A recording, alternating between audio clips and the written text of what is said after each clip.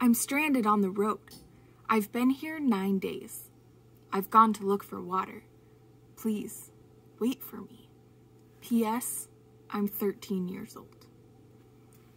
Canadian teen Francie Fox and her parents are on a road trip to hike the Grand Canyon when a shortcut leads them down an old logging road and straight to disaster.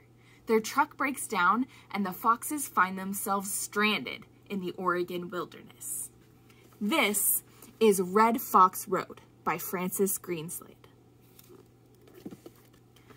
So the Fox family has broken down on a deserted logging road in the forest, and because they took a shortcut, no one will be looking for them there. At first, Francie is excited. She loves to learn about nature and has always wanted a chance to practice her survival skills. The family agrees that they'll spend the night in their tent, and in the morning, Francie's dad will walk down the logging road where the GPS says another road intersects. Once he finds help, he'll come back for Francie and her mom.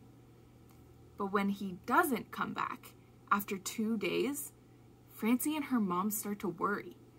Then, her mom leaves in the middle of the night without telling her. Now, Francie is completely alone, and her survival skills are really put to the test. As days turn into weeks, Francie begins to wonder if anyone will come to rescue her.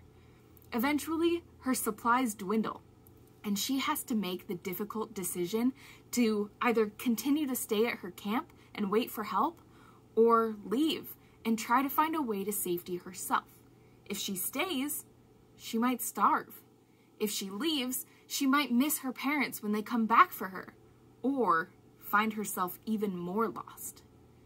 Follow Francie as she makes shelter, finds food and water, and wrestles with the fear and memories that come alive when you're truly alone.